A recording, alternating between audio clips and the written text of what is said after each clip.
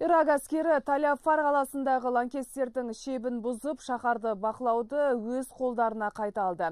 Араб бұқаралық ақпарат құралдарының хабарлауынша әскерлер ескі кенттің орталығына басып кіріп, Қамал төбесіне ту тарихи бекініс үшін ұрысқа Ирак әскерімен қатар федералдық полицейлер мен халықтық тәртіп сақшылары да жұмылдырылды.